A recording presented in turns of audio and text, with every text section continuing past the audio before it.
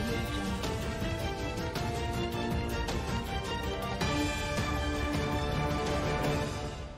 बाजरा खरीद मामले में जहाँ आड़तियों ने भाकियों व अन्य किसान संगठनों ने परेशान करने के आरोप लगाए हैं। वहीं किसान संगठनों ने डीसी सहित अन्य प्रशासनिक अधिकारियों को ज्ञापन सौंपकर बाजरा खरीद में लाखों का घोटाला बताते हुए जाँच की मांग की है।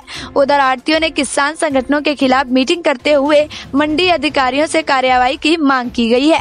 आम मंडी में जो बाहर से जो माल माल मंडी के अंदर जो बिकना आता है, उसके लिए बाहर से कुछ एजेंसियाँ के आदमी आकर के, जैसे किसान यूनियन है और इत्यादि है, वे आकर के परेशान करते हैं और जो बड़ी गाड़ियों माल आता है, उनकी वीडियो रील बना करके सेक्रेटरी के माध्यम से आड़तियों को परेशान किया जाता है और गेट पर बाकायदा बॉर्डर लगा दिया है।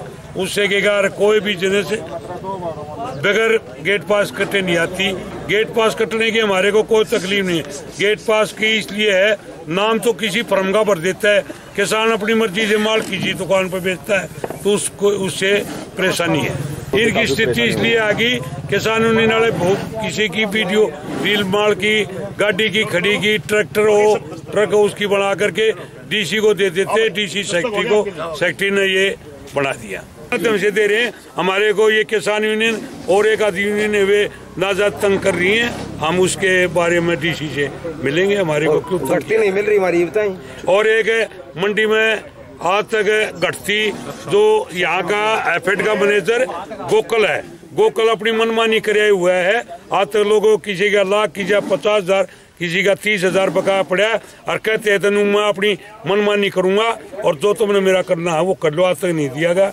और बाजरे का का भी किसानों का भुगतान आज तक बहुत काफ़ी बाकी पड़ा टोटल हुआ कितना भुगतान बाकी है? टोटल ढाई तीन करोड़ के लगभग बाकी है। चरखी दादरी से प्रदीप साहू की रिपोर्ट। इसी प्रकार की अन्य खबरों को जानने के लिए देखते रहिए एस टीवी